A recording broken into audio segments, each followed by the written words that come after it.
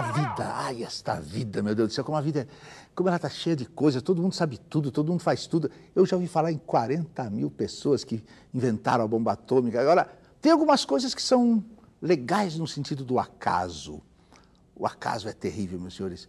Todo mundo buscando a ciência e o acaso entra na ciência. Todo mundo querendo uh, uh, fantástico e de repente o fantástico chega perto da realidade, a realidade é outra, ninguém sabe nada, a realidade é vira para cá, vira para lá. O risco é esse que é importante, sabe? Caminhar no incerto, sei lá. Bom, eu li num texto sobre Enrico Fermi, Enrico Fermi, um físico italiano que foi um dos pais da bomba atômica.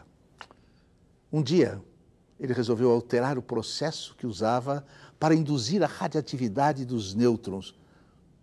Reduzir a radioatividade. Não, induzir a radioatividade dos nêutrons.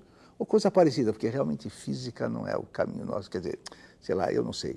Deus. Blá blá blá blá. blá. Continuando, deixa, é, é assim que serve o nosso programa. O chumbo que ele usava não estava dando certo.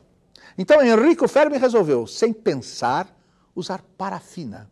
Usar parafina foi a decisão mais importante da sua vida. Até ali. Até ali foi a decisão mais importante. Bom, a colisão com o núcleo de hidrogênio da parafina, sabe o que aconteceu? fez diminuir a velocidade dos nêutrons. E todo mundo sabe o que isso significa. Eu espero que saibam, porque nós aqui não sabemos muito bem, mas tem gente que estuda isso profundamente e sabe. Mas o importante, sabe o que é?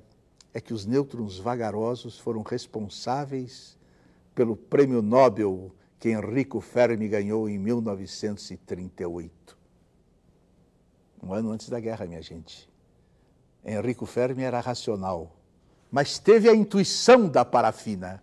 Ah, a história da ciência está cheia de sacadas do mesmo tipo. O daquilo que nós sabemos, sem saber que sabemos, só, sem saber que sabemos, nós sabemos coisas. Einstein, por exemplo, Einstein intuiu muito mais do que deduziu racionalmente. Ele dizia, ele dizia ter um sentimento na ponta dos dedos que substituía a percepção convencional e a racionalização. Muitas vezes ele disse isso. Muitas vezes é a ponta dos dedos que sabe o que nós não sabemos que sabemos. Nós sabemos e achamos que não sabemos.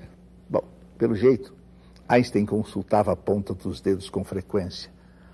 Tudo isso a respeito do quê? Olha, não sei, não sei, não sei. Talvez, talvez eu esteja querendo dizer a vocês que se deve recorrer à ponta dos dedos para entender o que se passa na política brasileira.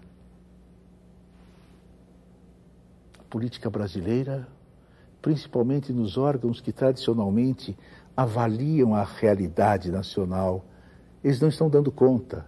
Ou está havendo uma grande mudança disfarçada de nada, ou um grande nada disfarçado de mudança. Por aí. Por aí. Eu não, não, não sei. Olha, se eu nem sei o que eu sei, eu vou saber o que eu estou dizendo. Pô, por favor, ponta dos meus dedos, me ajuda aí, pelo amor de Deus.